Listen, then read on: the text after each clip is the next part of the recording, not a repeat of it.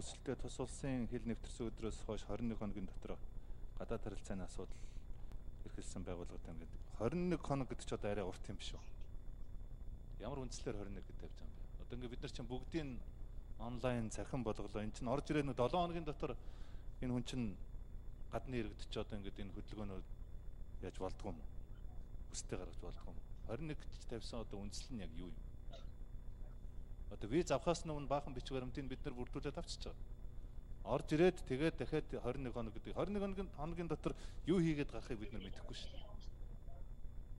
Ямар захиалгатай орж ирээд 21 хоногийн дотор тэгээд ажиллаа хийчихэд байхыг бид нар үгүйсэхгүй дээ. Гэхдээ ямар учиртай энэ 21 хоног гэдэг харин энэ үндслээ тайлбарлаа.